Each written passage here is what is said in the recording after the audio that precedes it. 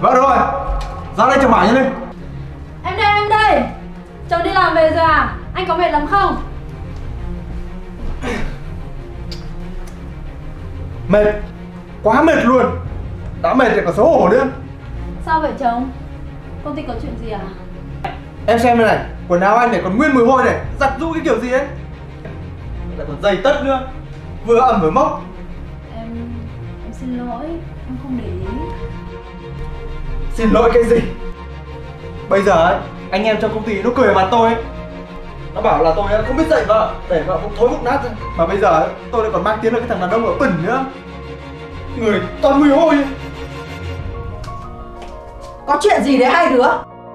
Mẹ ở ngoài mà đã nghe tiếng con ầm ĩ hết lên Mẹ, mẹ mới sang chơi à? Lâu rồi mẹ không sang chơi. Mẹ sang xem thằng con trai mẹ nó có bắt nạt con dâu yêu của mẹ không? Còn chả bắt nạt gì hết Đấy mẹ xem Con dâu mẹ ăn ở xịt xẽ quá. Trời thì nồm Để nhà cửa mốc như thế đấy. Có cái gì thì từ từ nói Con cứ ầm hết cả nhà lên. Thôi Mẹ toàn bênh con dâu mẹ thôi. Mà thôi mẹ ngồi chơi nhá Con phải đi tắm một cái nữa Phải thoát khỏi cái mùi ẩm mốc này ngay lập tức. Sao dạo này mẹ thấy hai vợ chồng con cứ khắc học thế? Mẹ nghe rồi đấy ạ. Tính anh ấy thì ưa sạch sẽ nhưng không chịu được mùi hôi mẹ ạ Nhà cửa, quần áo Có mùi là chuyện bình thường mà con. Thằng này khó tính ghê lên được. Con cũng thử dùng một số sản phẩm khử mùi và tạo hương thơm rồi mẹ ạ. Nhưng mà mùi hương gắt quá anh không chịu được. Sao con không bảo mẹ sớm? Mà cứ cãi nhau làm gì vậy? Con thử dùng cái sản phẩm đi rất là tốt. Đây là sản phẩm gì về mẹ? Đây là lọ tinh dầu Sola Nó có tác dụng làm mềm vải này Khử mùi hôi. Rất là tốt Mà lưu hương đến tận 7 ngày con ạ. Ra thì sản phẩm xịt thơm con cũng dùng nhiều rồi mẹ Không ăn thua đâu.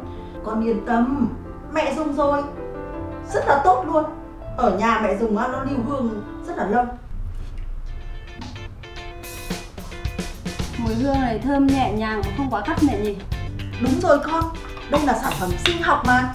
Thằng con trai mẹ có ý kiến gì Con cứ mắng cho nó một trận cho mẹ Từ nay trở đi thì con không còn phải lo mùi hôi ẩm mốc trên quần áo giày tất nữa rồi mẹ. Ạ Một số góc trong nhà mà có mùi nha con cứ xịt vào Cải thiện rất là tốt.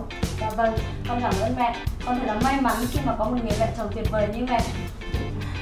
Khổ thân con Thằng này nó khó tính khó nết lắm cơ